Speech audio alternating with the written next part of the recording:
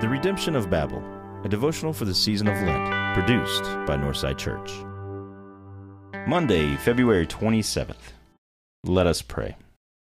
Inward I turn for comfort and warmth, for protection from this ugly world. I stay in my sphere, sheltered and safe, keeping my precious balance. I know it well, this tower I've built, each stone crafted wisely. This life is mine, a story to write as I see fit, doing what I can to prosper. Here in my tower, comfortable and content. Sometimes I sense a still, small voice. It calls to me. Is it you, Lord? Our scripture passage today comes from Genesis chapter 10, verses 8 through 12. Cush was the father of Nimrod, who became a mighty warrior on the earth. He was a mighty hunter before the Lord. That is why it is said, like Nimrod, a mighty hunter before the Lord.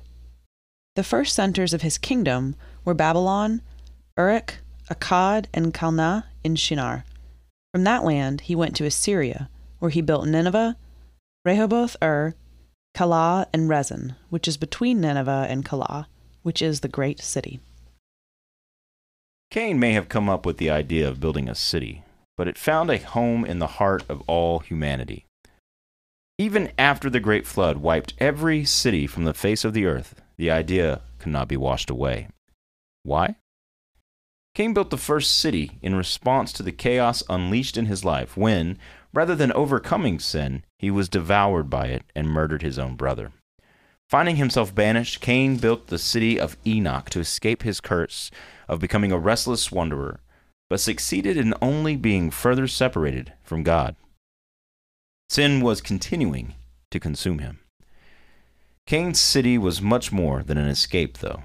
It was designed explicitly as a rejection not only of God's punishment and protection, but also as a symbol of Cain's rejection of God's design, and even God himself. The invention of the city was Cain's way of saying, I don't need God, and I'll deal with this life and all the chaos myself. And I have a suspicion that Cain designed this blueprint for himself because for him it was easier than simply acknowledging his behavior, confessing his failure, and repenting of his sin. I suspect this because it's probably what I would have done. In fact, it is what I do. And I bet it's what you do too.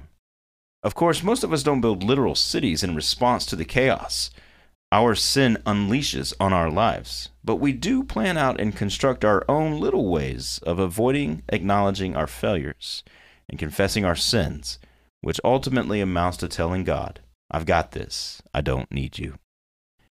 And so we remain restless wanderers in heart, mind, and soul, because building such cities are our best hope and design for huddling restless wanderers together in an attempt to take control and care of ourselves without help and without God. What's worse, we pass such projects on from generation to generation, building a city of control that can never be what it is designed to be. And that, in fact, only lays the foundation for further chaos in our lives. Within two generations of the flood, perhaps the greatest city builder of all time, Nimrod, became the first great warrior king on earth, setting up his kingdom in the land that would later be called Babylonia. He is credited with building at least eight cities, two of which would go on to play an incredibly destructive role in the history of God's people Babylon and Nineveh. How long will we continue in the steps of Cain and Nimrod, teaching our children to do the same? When will we repent of this and confess that we are all restless wanderers, fully dependent on the God who created us for so much more?